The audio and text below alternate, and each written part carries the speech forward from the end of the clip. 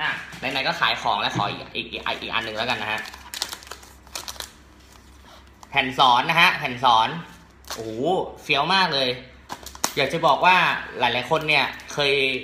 ดูคลิปผมนะครับ แต่ว่าผมเล่นกีตาร์ไม่ค่อยเก่งนะฮะผมก็แค่มาแนะนำแนวทางการฝึกที่ผมเคยผ่านมานะฮะถ้าใคร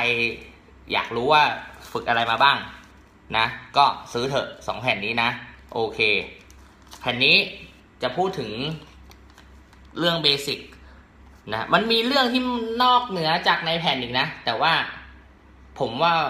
ตัวผมไม่ค่อยได้ใช้อะผมก็เลยเอาแค่เรื่องที่มันได้ใช้จริง ๆ เอามาอยู่ในแผ่นนี้เกือบทั้งหมดเลยแล้วกัน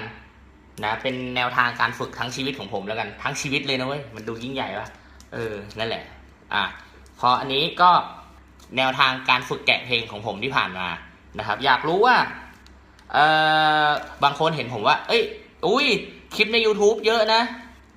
มีหลักการแกะเพลงยังไง เพราะว่าเวลาผมแกะเพลงเนี่ย ผมจะไม่ดูใครเลย ซึ่งอาจจะผิดบ้างถูกบ้างนะ แต่ว่าเราเราก็นั่นแหละ เราก็ฝึกของเราก็ฝึกไปเรื่อยๆนะฮะสองแผ่นนี้นะฮะยังไงสั่งซื้อได้ใน inbox เฟซบุ๊กแล้วกัน อันนี้จะเป็นแนวทางการแกะเพลงของผมนะครับซึ่งน่าจะมีประโยชน์นะ เพราะว่ามันมีวิชา เคล็ดลับวิชาที่ผมได้ร่ำเรียนมาตอนสมัยยังหนุ่มๆอยู่ ซึ่งมันใช้ได้ผลได้ดีมากเลย เชื่อไหมว่าผมได้พอผมรู้หลักการแกะเพลงใน